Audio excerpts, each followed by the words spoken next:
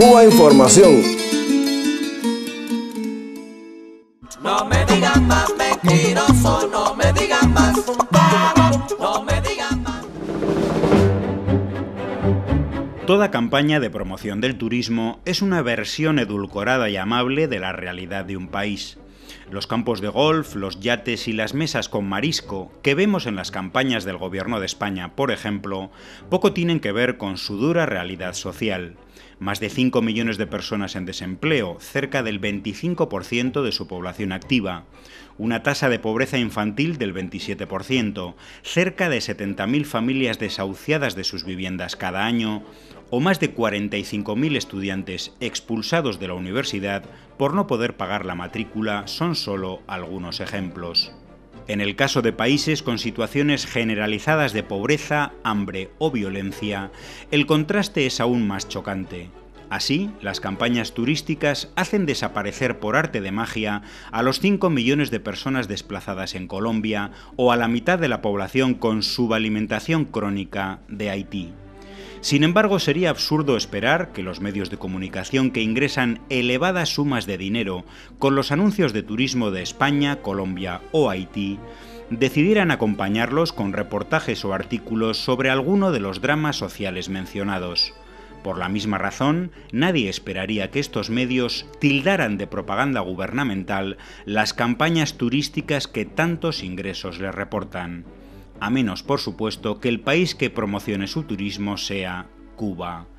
Hace unos días el diario español ABC llevaba a su sección internacional un texto titulado Así es la auténtica Cuba frente a la que presenta la propaganda, en el que leemos que el régimen de los Castro lanza en España una campaña de promoción turística que poco tiene que ver con la vida real de sus ciudadanos.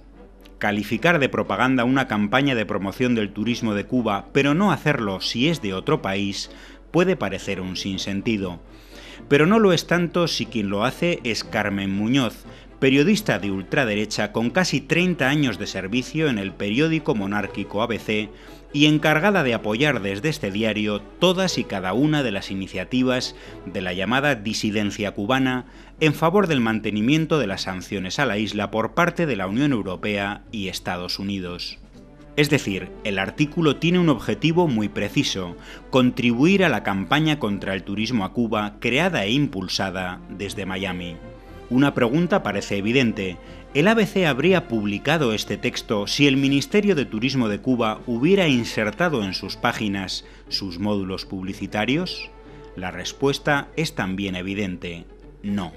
Como evidente es el fracaso de esta campaña contra Cuba, un país que ofrece al turista, además de una naturaleza envidiable y una gran riqueza cultural, la mayor seguridad del continente y la posibilidad de dialogar con una población educada que a diferencia de la de otros lugares del continente, desconoce el hambre, la violencia en sus calles o el desplazamiento forzoso y a diferencia de la española, los desahucios de sus viviendas o la imposibilidad de estudiar en una universidad por falta de dinero.